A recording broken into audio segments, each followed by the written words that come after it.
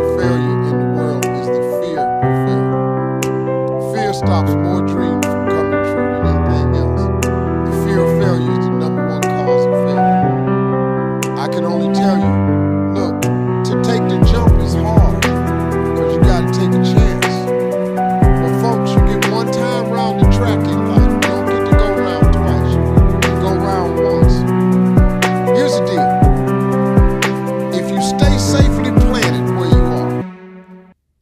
never jump, you never take a chance to go see what God really has for you.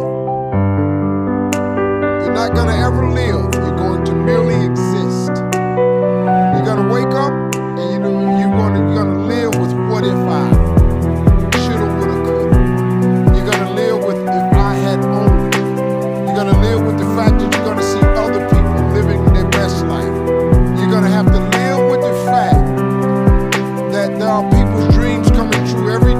Exception of yours.